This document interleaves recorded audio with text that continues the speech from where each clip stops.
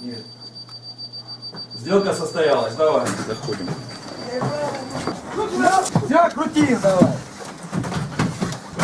Руки за, за спиной сказал. Нет, оружие есть? Голову в ту сторону. Руки сожми. Все. Оба. Контроль. Да, да, нормально.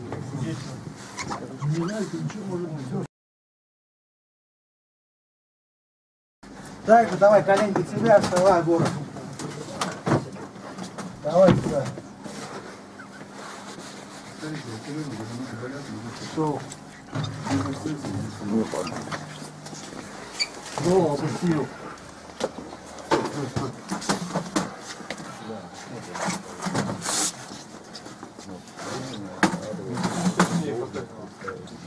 Можете пояснить, что сегодня произошло в этом ломбарде по адресу город Москва? Э, Хотели взять деньги в залог Подо что? под э, ту сделку, которая у нас ведется. Ну, расскажите подробнее, пожалуйста, что вы хотели оставить в залог, откуда это у вас, В залог хотели оставить э, э, золото вот, э, на залог на два месяца. Вот, под сделку, которая у нас идет инвестиционный проект за рубежом. Хорошо, поподробнее про золото, интересно.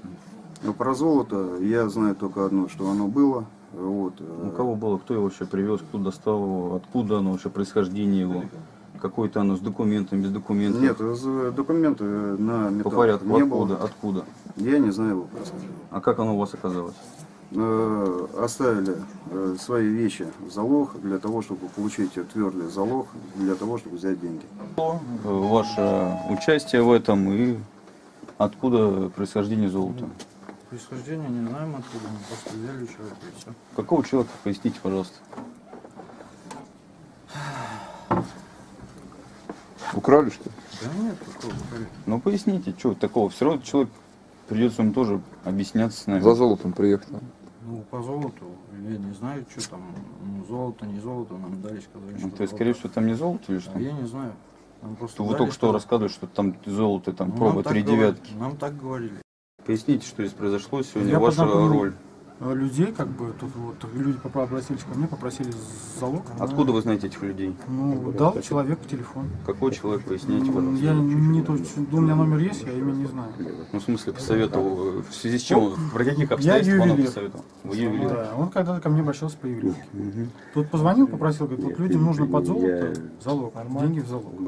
Я сказал, у меня есть человек, кто как бы работает в ломбарде, вот, то есть я состыковал их с человеком, вот мое все. Знакомый попросил, им на сделку нужны деньги. Я ему сказал, извини, но должен какой-то же залог, либо квартира, либо еще что-то, либо, ну, чтобы дали Ваше деньги. конкретное участие в чем здесь заключалось? Вы деньги предоставили? Я, он, он мне попросил, ваш «И- или что? у меня ничего нету. Он мне попросил, говорит, есть у тебя кто-нибудь? Я говорю, я спрошу, надо какой-то какой залог. Он вот позвонил, говорит, слушай, есть залог э, золота? Я говорю, золото, наверное, подойдет. И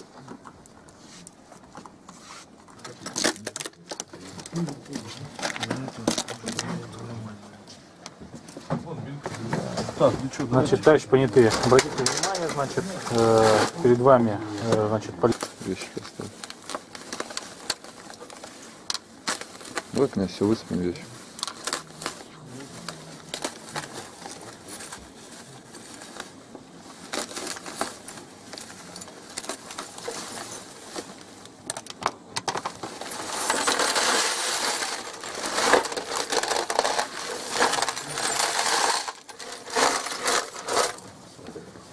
Что, золото, дорогой друг.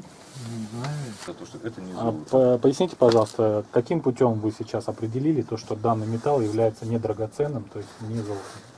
Во-первых, это и внешний вид уже сразу видно. А во-вторых, и Э, у нас в трех полиэтиленовых пачках, да, значит, э, общей суммы в 14 миллионов.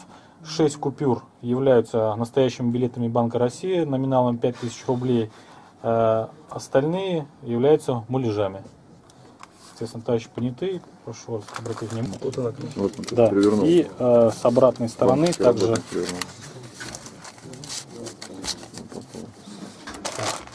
И с обратной стороны, соответственно, оригинальную купюру, тоже билет Банка России, значит, с серией номером ЕН 297 94 87. Так, это вторая пачка, значит, открываем третью пачку.